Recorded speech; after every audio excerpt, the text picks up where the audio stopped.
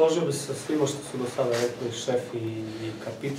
Sigurno da nas čeka jedna teška utakmica jer smo i mi i ekipa Temnića u istoj situaciji gde su bodovi i nama i njima preko potrebni. Sad mi imamo tu neke neraščišćene račune što ste rekli, malo nesrećan poraz iz prvog dela, ali mislim ne bi se vraćao stvarno u prošlost, to je bilo. Nama motivanje ne, ne manjka za sutrašnju utakmicu, imamo ga na pretek. Svi igrači su, osim ove pomenute dvojke, maksimalno spremni i ja sam siguran da će svi pružiti više od 100% sutra kako bi bodovi ostali u Pirotu.